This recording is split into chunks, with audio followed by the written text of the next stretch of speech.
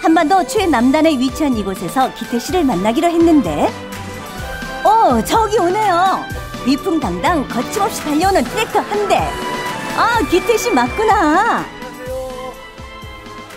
저희를 여기서 만나 뵙자고 한 이유가 뭐예요? 이 트랙터 여행을 새롭게 시작한다는 마음으로 이곳 끝에서 시작을 해보고 싶었어요. 끝은 또 다른 시작. 바다를 보고 심기일전하는데 아 멋진 그림이네요. 할 수 있어요!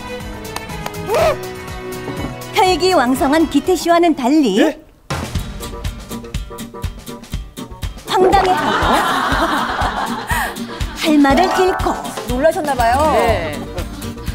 어이없어 하는 분들로 가득 트랙터 여행 이유를 설명해 보지만 아, 느려가지고 어떻게 해요? 너무 놀라워요 이런 거. 깜짝 놀랐어요. 그러나 누가 기태 씨를 말릴까요? 화이팅! 자 모두 따라올 준비 됐나? 본격적인 대한민국 트랙터 유랑 시작! 바람을 가르며 숨겨진 질주 본능을 보여주는 트랙터 거기에 흥겨운 음악까지 이보다 완벽한 드라이브가 있을까요? 항상 매일매일마다 50km, 60km, 100km 달릴 때가 있거든요. 막 6시간, 7시간 이렇게 걸릴 때가 있는데 그때 혼자 있으면 너무 외롭고 고독하고 심심하잖아요. 그때마다 제 마음을 달래주는 게 바로 라디오 이 친구거든요. 트랙터만 있다면 외롭지 않아. 트랙터 유랑의 또 다른 재미 중에 하나는 쉬엄쉬엄 아름다운 풍경을 감상한다는 겁니다.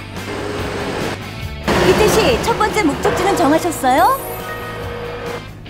배가 고프거든요. 그래서 배가 고파가지고 이제 밥을 먹으러 가는 길이에요.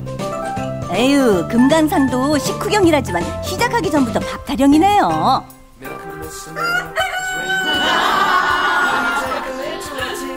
정겨운 시골 풍경들이 먼저 반겨주는데 어?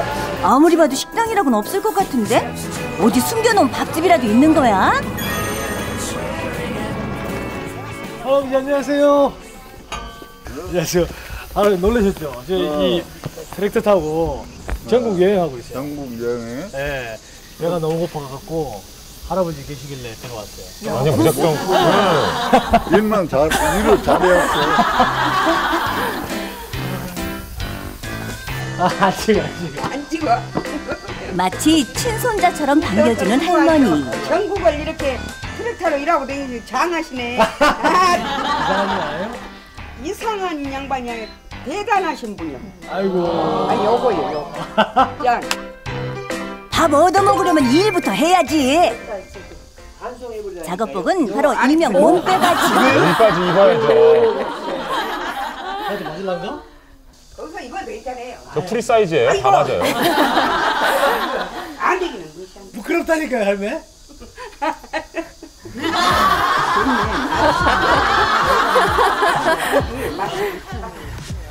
이것이 바로 네. 진정한 농촌 스타일. 기태 씨 너무 잘 어울리는 거 아니야?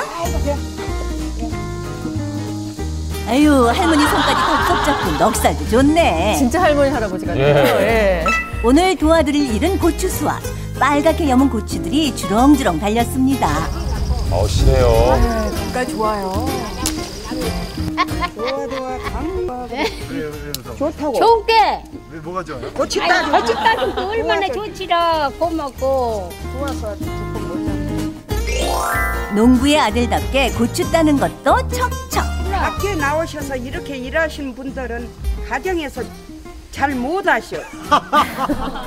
찔리는 맞아요? 어. 어렵다 실정을 알리는 것까지는 좋지만은 요새 우리나라 세대의 부모님들이 젊은 사람이 농사 짓기를 바라는 사람은 거의 없거든. 트랙터까지 합세. 농사꾼 한몫 든든히 하는 기태 씨. 고생하신 할머니도 태워드리는데 아유 오늘 효자 노릇 톡톡히 하네. 너무도 좋아 좋아 근데 여덟자리 어떻게 들고 가실까요? 이 말이요 하나에 10kg가 넘을 텐데. 시키지 않아도 고추 옮겨드리는 것까지 역시 거친 남자